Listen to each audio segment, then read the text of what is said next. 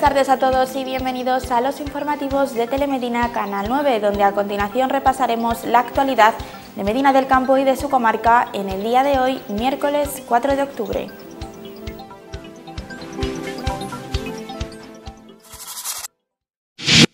Servitrama Transportes te ofrece esta sección. Esta mañana el Ayuntamiento de Medina del Campo ha dado a conocer las actividades que se desarrollarán con motivo de la festividad de Santa Teresa de Jesús.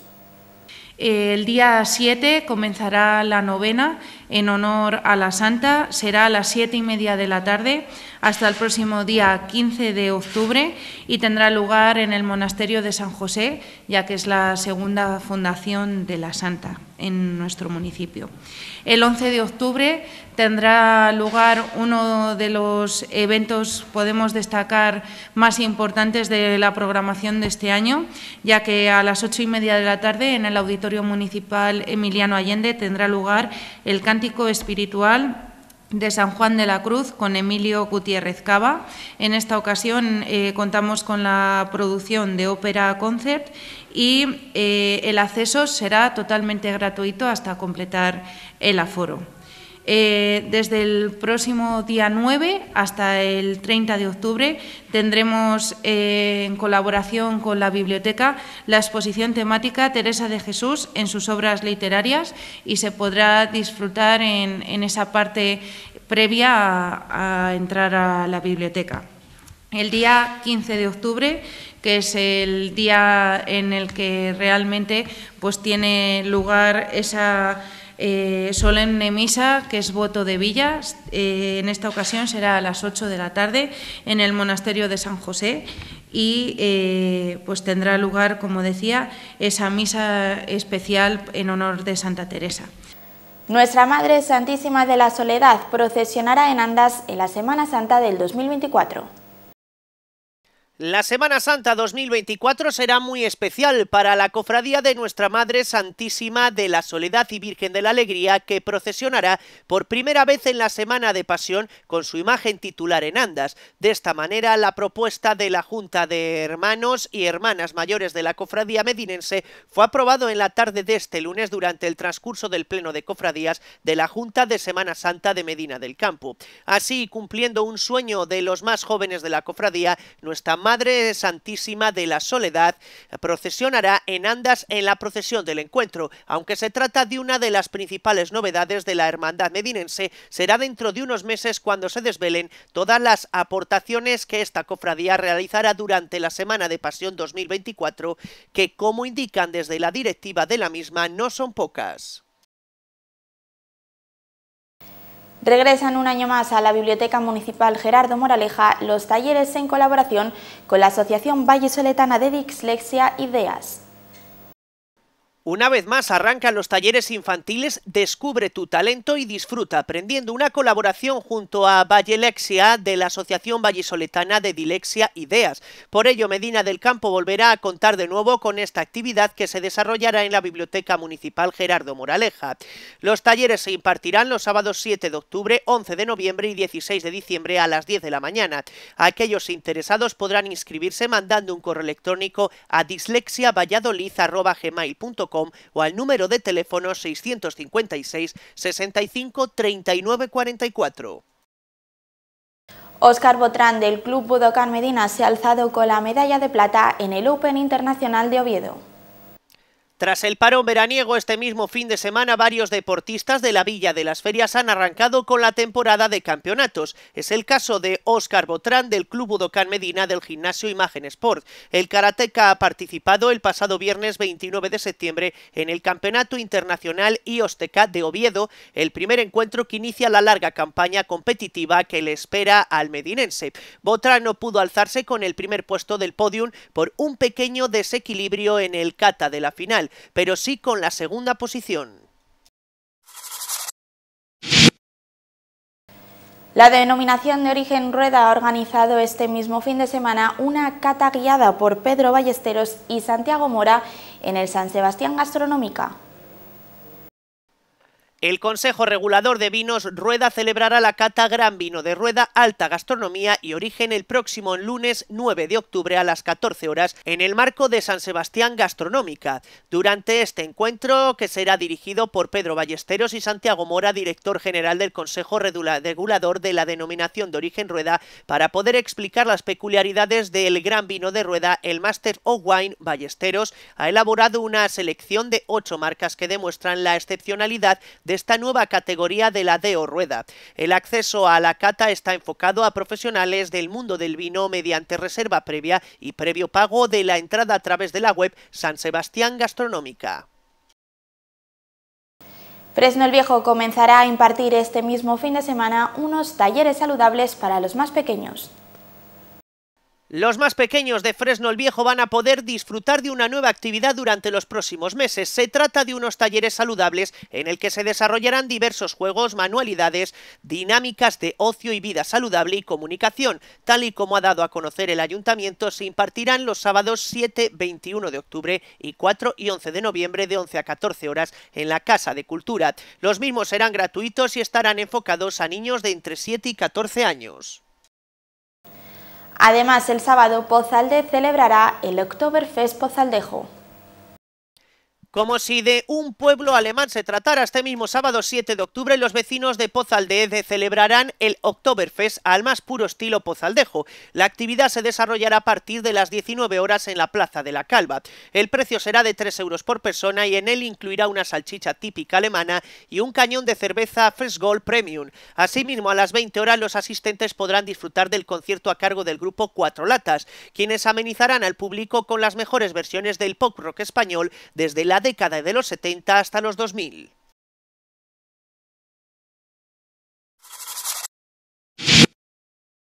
La Diputación de Valladolid mantiene el servicio de autocares gratuitos para los aficionados del Real Valladolid. Una de las líneas partirá desde Medina del Campo y recorrerá varios municipios de la comarca. El día 8 de octubre la Diputación Provincial de Valladolid subvencionará un servicio de autocares para que los aficionados del Real Valladolid puedan llegar hasta el Estadio José Zorrilla los días del partido. El aficionado que desee utilizar el día de partido en Zorrilla alguno de los autocares que la Diputación pone a su servicio desde diferentes villas de la provincia deberá formalizar su reserva llamando al teléfono 983 42 7100 en horario de 8 a 14 horas de lunes a jueves, salvo cuando el partido se celebre en viernes en cuyo caso se adelantará hasta el miércoles hasta las 14 horas.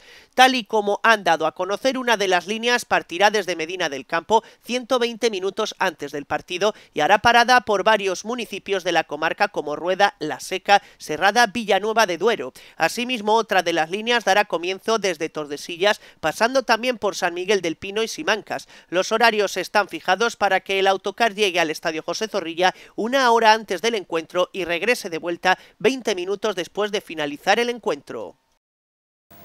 Europa ha otorgado 150.000 euros al Ayuntamiento de Valladolid para la descarbonización de la rehabilitación de edificios. La Junta de Gobierno ha ratificado ayer el encuentro del proyecto Urbaniup en el que Valladolid ha sido seleccionada a través del programa de ciudades piloto Net de la Unión Europea. Se trata de una candidatura conjunta de las siete ciudades españolas que forman parte de la misión 100 ciudades climáticamente neutras, Barcelona, Madrid, Sevilla, Valencia, Valladolid, Vitoria-Gasteiz y Zaragoza. El objetivo es impulsar la rehabilitación de edificios con soluciones orientadas a la neutralidad climática y así que los sectores de la edificación residencial, comercial, pública y privada reduzcan su huella de carbono y sean energéticamente eficientes. Para ello, las ciudades movilizarán a sus agentes e impulsarán conjuntamente acciones que fomenten la rehabilitación energética. El fin es incentivar el uso de materias primas locales con baja huella de carbono y promover el despliegue de energías renovables bajo modelos de autoconsumo y comunidades energéticas. Ya hay fecha de estreno para la serie que se ha rodado durante el año pasado en Valladolid. Prime Video estrenará Memento Mori el próximo 27 de octubre. La concejala de Turismo, Eventos y Marca Ciudad Blanca, Jiménez, ha participado en la presentación oficial de la serie Memento Mori, rodada en Valladolid en el marco de la tercera edición de Iberseries y Platino Industria, un evento en el que ha compartido mesa con el autor de la obra original, César Pérez Gellida, el guionista Luis Arranz y el presidente del grupo ICN, José Luis Velasco. Durante el acto, Prime Video ha desvelado la fecha de estreno, el tráiler y el póster oficial de Memento Mori basada en la primera novela de César Pérez Gellida de la trilogía Versos, Canciones y Trocitos de Carne. Los seis episodios de la serie, protagonizada por John González, Francisco Ortín y Juan Echevanove, estarán disponibles en exclusiva en Prime Video el 27 de octubre en España y Portugal como parte de la suscripción Prime. Valladolid tiene un papel protagonista a lo largo de la serie donde se rodó la mayor parte de la misma entre octubre y noviembre de 2022. Parece un poema. Cuando la sirena busca a Romeo, de lujuria y negro tiñe sus ojos. Está hablando de una infidelidad. Un pijo.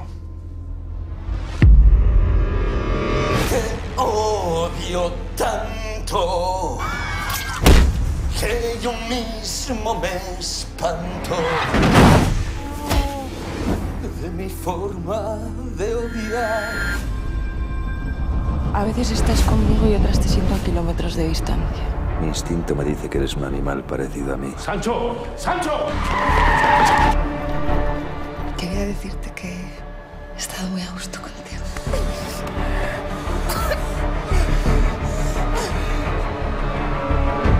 ¿Hay poema? Nos está poniendo en jaque solo para demostrarnos su poder. Voy a acabar con él. Tranquilo, Sancho. Tranquilo. Salir con la tuya, hijo de puta. ¿Me has oído? ¡Te entierro vivo antes! ¿Me has oído? ¡Me cago en la puta! Tengas calma.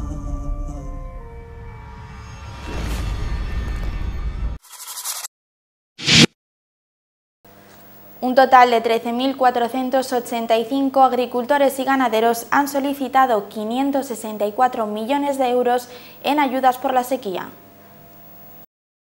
La Junta ha recibido 13.485 peticiones de reconocimiento de derecho a suscribir préstamos hasta que finalizó el plazo el pasado 29 de septiembre. Si todos los agricultores y ganaderos formalizan la petición, el importe total de préstamo ascendería a 564 millones de euros, la mayor cantidad suscrita de las tres convocatorias emitidas por la Junta de Castilla y León en referencia a ayudas para bonificación de interés preferenciales por sequía.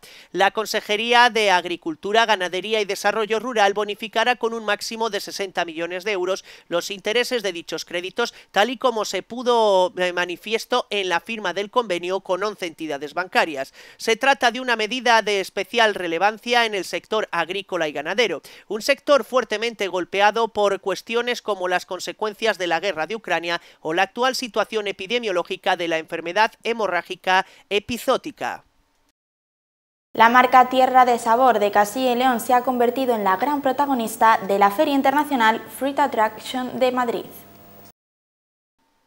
256 metros cuadrados, cinco denominaciones de calidad y más de medio centenar de empresas castellanas y leonesas. Esa es la representación de Castilla y León en el Fruit Attraction, la feria internacional más importante de frutas y hortalizas que se celebra en IFEMA hasta el próximo jueves. El viceconsejero de Política Agraria Comunitaria y Desarrollo Rural, Pedro Medina, y el director general de Itacile, Rafael Saez, han visitado el stand durante la inauguración de la feria. Allí podido comprobar la gran calidad de los productos de las empresas de la tierra que participan en esta edición. Denominación de origen protegida manzana reineta del Bierzo, las marcas de garantía Pera Conferencia, Castaña y Cereza del Bierzo y las setas de Castilla y León, que representa un total de 49 empresas. Además, otras 11 empresas con sede en la región, referencia en productos de quinta gama, en la producción de patata y en la de frutos rojos, cuentan también con un espacio independiente dentro de la feria.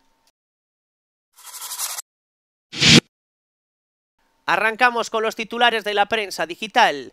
Tradición, vino y desarrollo sostenible se unen en la fiesta de la vendimia de Melgar de Abajo. La tercera fiesta de la vendimia y la segunda recreación histórica se dan cita en San Román de Hornija. Exposición itinerante en Palencia por el 40 aniversario de Castilla y León. Fallados los premios Fuentes Claras para la sostenibilidad en municipios pequeños de Castilla y León. Descubre Más Agrícola. El gasóleo agrícola de Petromás. Un gasóleo de máxima calidad que te ofrece el mejor rendimiento y cuidado para tu maquinaria agrícola. Desde Petromás te ofrecemos un producto excelente al mejor precio.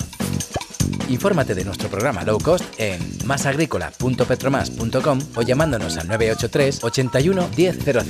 Medina del Campo. Más Agrícola. Gasóleo Agrícola. El tiempo en Medina del Campo en la jornada de mañana alcanzaremos 31 grados de temperatura máxima y 13 de mínima. Tendremos los cielos totalmente despejados y vientos de 12 kilómetros la hora. En la jornada el viernes 32 grados de temperatura máxima y 14 de mínima. Como en el día anterior tendremos los cielos totalmente despejados y vientos de 11 kilómetros la hora. Ya para el sábado 7 de octubre mantendremos esos 32 grados de temperatura máxima y los 14 de mínima. A primera hora de la mañana habrá alguna nube en Medina del Campo que pero se acabará despejando cuando vaya entrando la tarde. Los vientos serán de 11 kilómetros la hora.